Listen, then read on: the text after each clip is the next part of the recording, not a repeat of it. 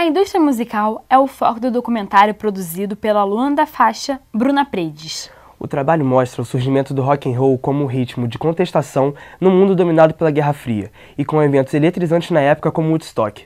É abordado ainda os interesses mercantilistas e o avanço das tecnologias no setor, com a era das novas mídias e redes sociais na produção e divulgação de grandes festivais, como o Rock in Rio. Confere aí.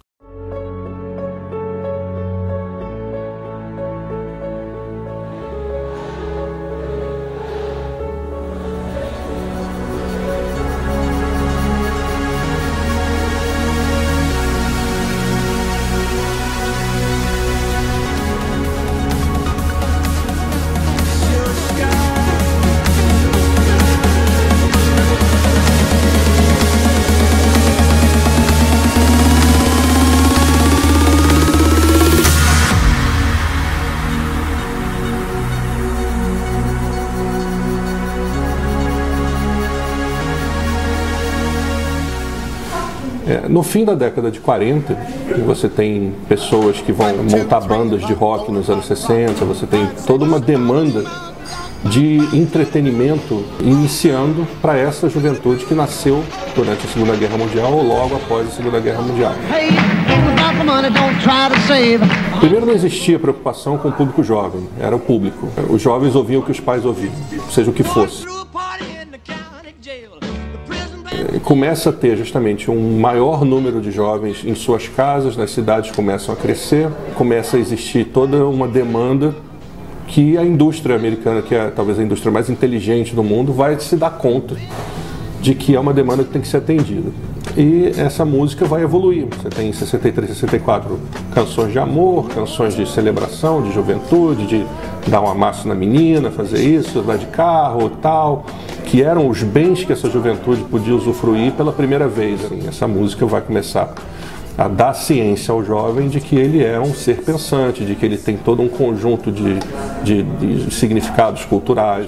Artistas que não são exatamente do rock, como Bob Dylan, por exemplo, vão emprestar esse ritmo é, significado, vão dar esse ritmo um sentido é, político. Os próprios Beatles, os Stones, são influenciados diretamente pelo Dylan.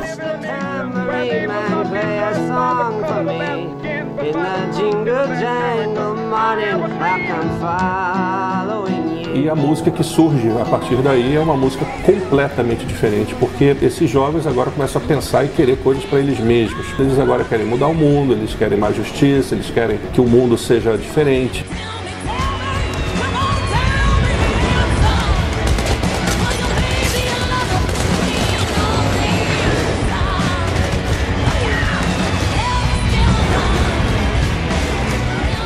Com essa mudança e esse mundo que vai avançando, você tem a mídia avançando, você tem os meios de comunicação avançando, a noção do próprio capitalismo vai avançando, o antagonismo dele com a União Soviética, tudo isso é, faz com que o rock seja parte dessa sociedade. Os primeiros shows começam a acontecer é, para espaços maiores, em 65, 66, os Beatles excursionam por estádios.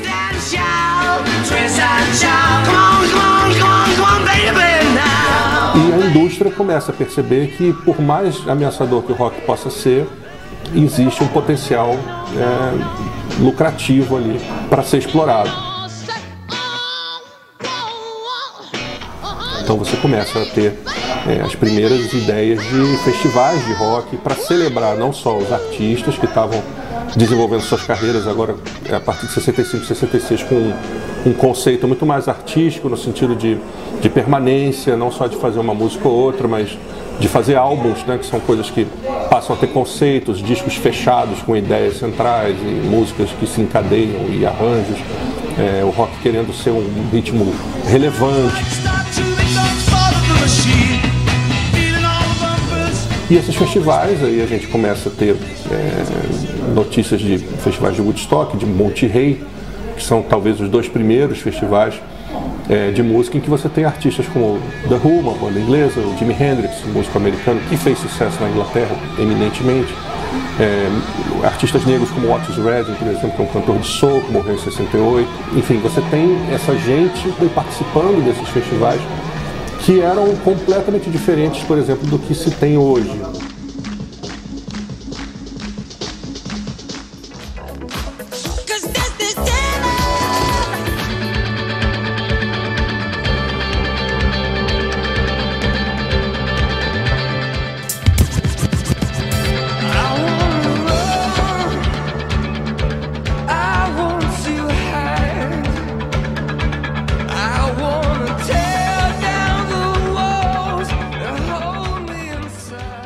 Primeira capa da revista Época desse ano é, apresentava uma manchete: compre experiências, não compre coisas. A gente está vivendo a era das experiências, isso é fato.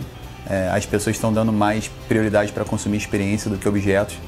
É, e eu acredito que isso tem uma relação muito forte com as redes sociais. Like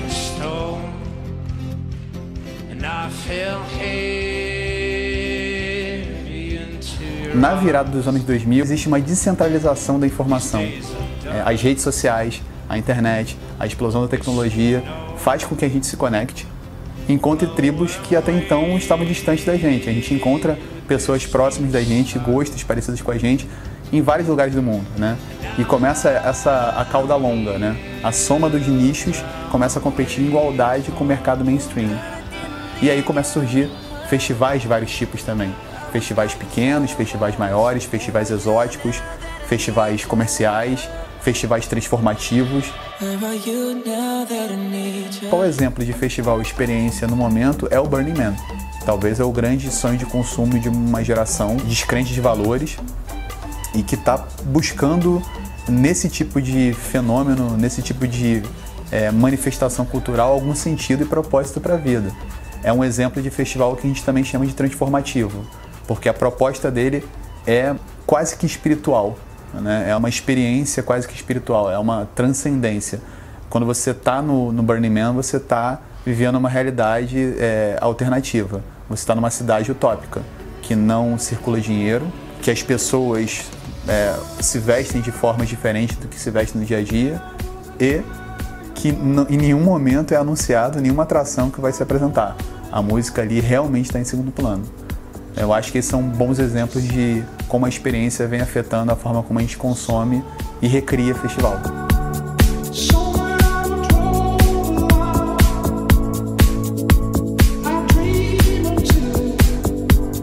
Por que, que você vai no festival? Né? É, talvez para minha geração era por causa de um show, ou por causa de uma atração, ou por causa da música. Né? Hoje isso não é tão relevante como era antigamente. É conhecido que muitas pessoas compram o Rock in Rio por causa do headliner, da atração principal do dia. Mas também é sabido que se ela tenta comprar aquele dia e não tem a atração que ela queria ver, ela compra o próximo dia que está disponível. Significa o quê? A experiência de ir para o Rock in Rio, ir para o Rock in Rio é mais importante do que ir para um show.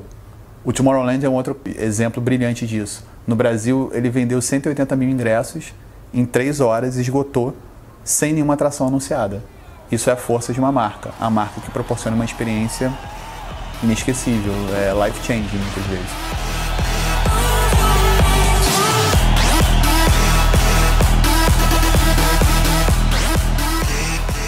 Essa coisa da experiência ser compartilhada nas redes sociais faz com que esses festivais estimulem cada vez mais esse tipo de que eu chamo de Instagram moment, né? que é aquele momento que você precisa postar a, a tirolesa da Heineken no Rock in Rio, por exemplo. Quem participa daquilo não tem como não postar. E a, os festivais, obviamente, já se atentaram a isso. Alguns festivais usam isso através de marcas e outros festivais, a essência deles é a experiência.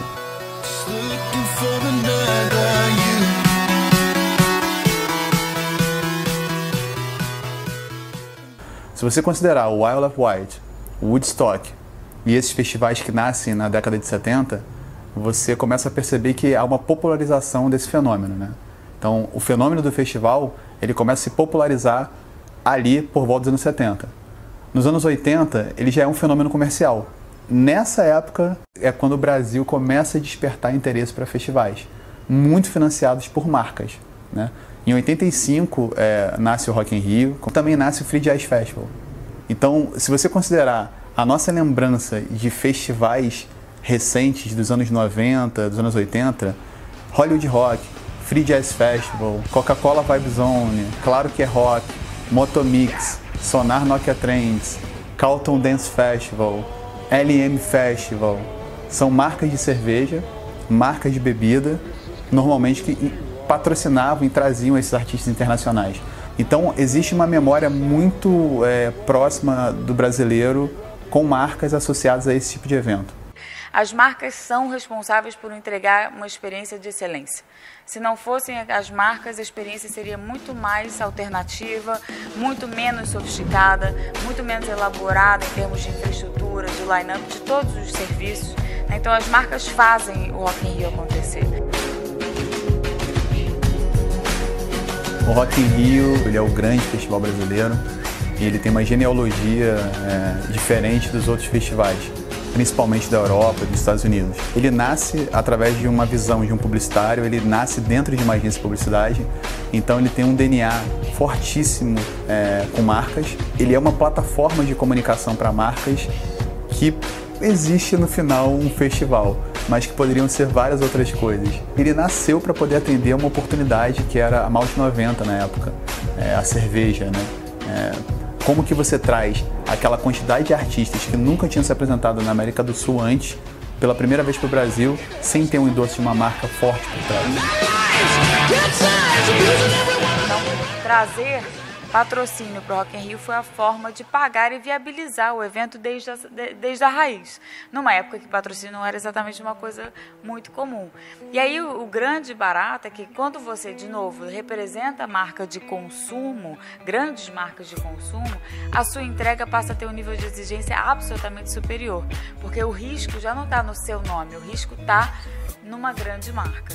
Né? Então a qualidade né, da, da, da experiência, da, da, qualidade da entrega de tudo tinha que ser ainda melhor.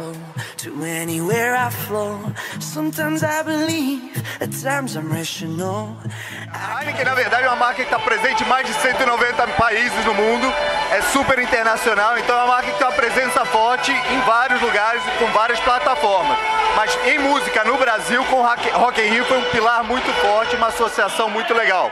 O trabalho agora da marca é cada vez mais não só aparecer, mas engajar consumidores e acho que a gente vem alcançando isso bem.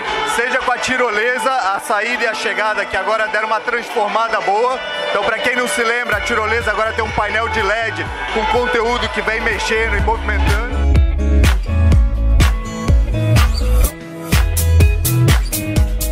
A Heineken, é, por sua associação com festivais, né, já foi patrocinadora do Lollapalooza, é, patrocinou a edição passada do Rock in Rio. A tirolesa sempre é um objeto de desejo.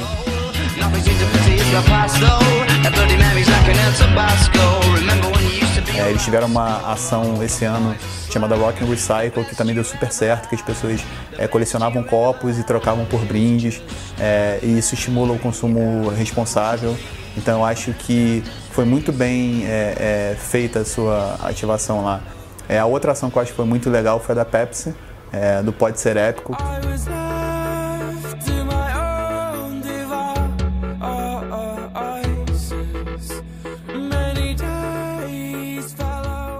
Você botar a pessoa comum no palco falando que você também pode ter o teu momento épico, é, isso gera muito earned media, né? muita mídia de reputação. Então, é, foi muito bem sucedido. Sem contar que a lata deles de LED iluminada à noite chama muita atenção. E por fim o Itaú. Eu acho que o Itaú não chamou tanta atenção no evento. O que o Itaú fez de diferente foi uma associação muito forte pré-evento, né? É, especialmente associada à compra do ingresso. Né? E eles também fizeram algumas ações é, é, bem pontuais, por exemplo, um karaokê na praia, é, aproveitando todo o contexto turístico que o Rio de Janeiro oferece é, em volta do Rock in Rio, com a música tema é, do Rock in Rio depois do tema do Rock in Rio, né, que é Love of My Life do Queen.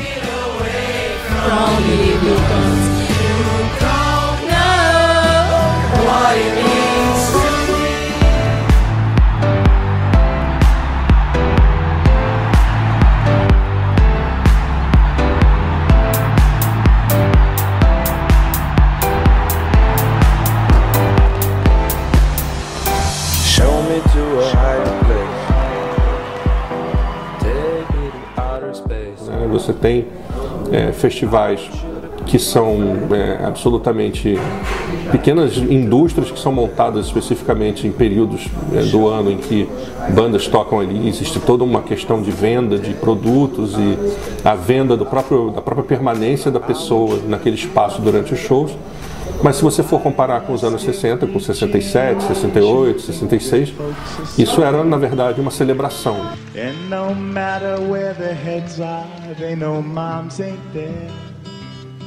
Cause I swore when I was small that I'd remember when